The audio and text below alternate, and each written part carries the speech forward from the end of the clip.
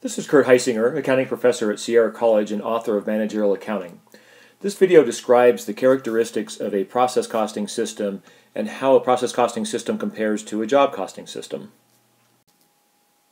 Let's start by looking at a process costing system.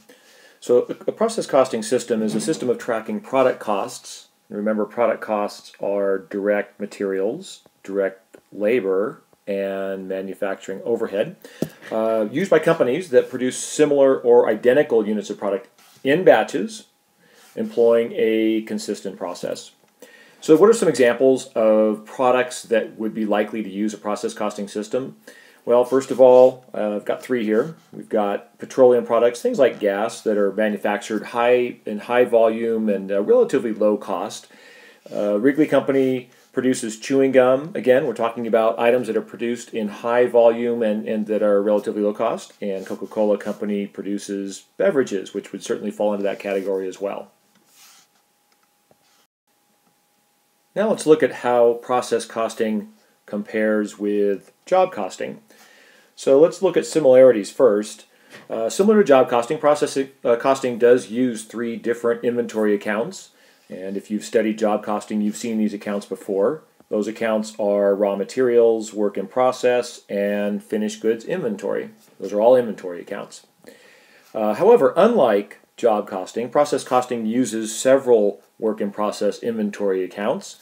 They use one account for each production department We'll be looking at an example of a company that has two production departments, a, an assembly department and a finishing department. So in that scenario, that company will have two separate work in process inventory accounts. It could be a company that has five or six or ten different production departments, in which case each department would have its own work in process inventory account. Also keep in mind that the sum of all work in process inventory accounts, that is if you add them all up, represents the total work in process for the company. Process costing also uses a departmental production cost report to track product cost, and we'll be looking at that later in a separate video. Here's a summary of the cost flows for each type of costing method. Job costing up at the top and process costing uh, at the bottom part of this slide. So with job costing, you'll see that we have direct materials, direct labor, and manufacturing overhead, all those costs, that go into work in process. See the arrow there goes into the one work in process inventory account. However, job cost sheets are used to track the job cost information for separate jobs, but it's one work in process inventory account. And then as those jobs are completed, those costs go over into finished goods inventory, and ultimately when those goods are sold, those costs go into cost of goods sold.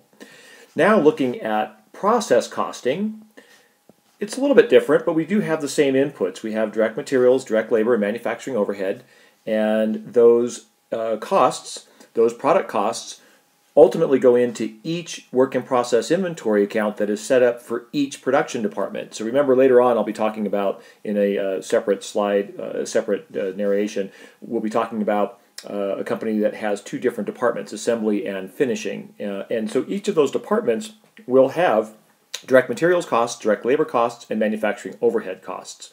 But remember, we have separate work in process inventory accounts for each production department. So that's what you see here. Then as those uh, products are completed, they go through those series of departments, and as those products are completed, then those costs for those completed products go into finished goods inventory. And again, similar to job costing, as we sell those products, those costs go to cost of goods sold.